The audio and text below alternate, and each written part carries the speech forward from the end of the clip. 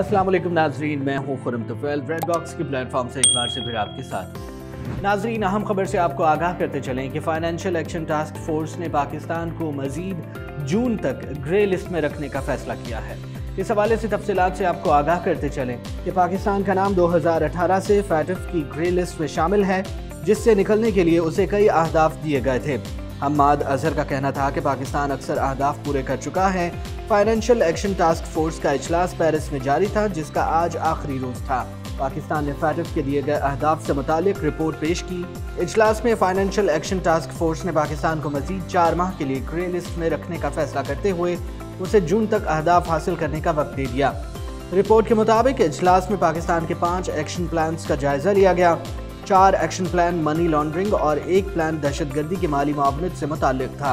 पाकिस्तान ने अक्टूबर 2021 तक 27 में से 26 निकात पर अमल दरामद किया था। फैटफ ने मनी लॉन्ड्रिंग और टेरर फाइनेंसिंग से मुतल मुकदमात में तेज़ी लाने का हदफ दिया था। अकवा मुतहदा के नामजद करदा दहशतगर्द अनासर के खिलाफ कार्रवाई पर भी ज़ोर दिया गया था। अब तक के लिए इतना ही। मजीद बाखबर रहने के लिए रेड बॉक्स यूट्यूब चैनल को सब्सक्राइब करना और बेल आइकन को प्रेस करना मत भूलिएगा, क्योंकि रेड बॉक्स ज़रूरी है।